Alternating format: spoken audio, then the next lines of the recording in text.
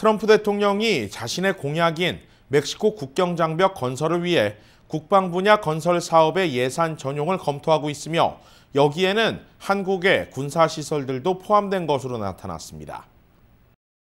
AP 로이터 통신과 CNN은 국방부가 의회에 이런 내용을 담은 21쪽 분량의 국방 분야 건설 사업 목록을 보냈다고 보도했습니다.